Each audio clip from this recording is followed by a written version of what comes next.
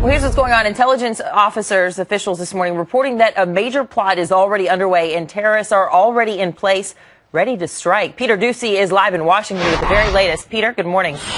Good morning, Anna. That's right. The latest update we have is that terrorists are in place, ready to carry out what is being described as a major plot. That's based on a new CBS News report describing the intelligence we have that prompted the United States to close 22 embassies and consulates around the world. This intelligence is reportedly very specific and relates directly to an Al Qaeda affiliated threat.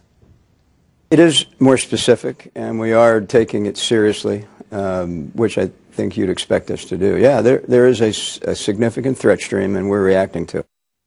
Those specifics are still a secret at this early hour. Dempsey declined to give more details other than to say that Western interests are in danger. And based on the embassies and consulates that are now closed, those Western interests appear to be mostly in the Middle East and North Africa. And that is why a worldwide travel warning is in place for all Americans for the first time since September 2011, the 10 year anniversary of the attacks that killed nearly 3,000 Americans in New York, Northern Virginia, and Pennsylvania. President Obama is celebrating his 52nd birthday at Camp David. He played golf before he left, and the White House said before departing this morning the president was updated on the potential threat occurring in or emanating from the Arabian Peninsula by Assistant to the President for Homeland Security and Counterterrorism, Lisa Monaco. He will continue to be updated through the weekend, and we expect President Obama to return to the White House on schedule later today.